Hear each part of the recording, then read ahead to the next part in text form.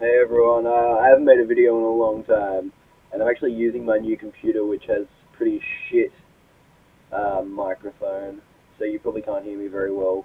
But I just came on quickly to show you my new tattoo that I got. It's the only one that I have, and it's probably going to stay that way.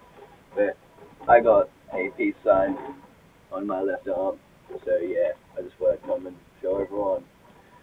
Peace.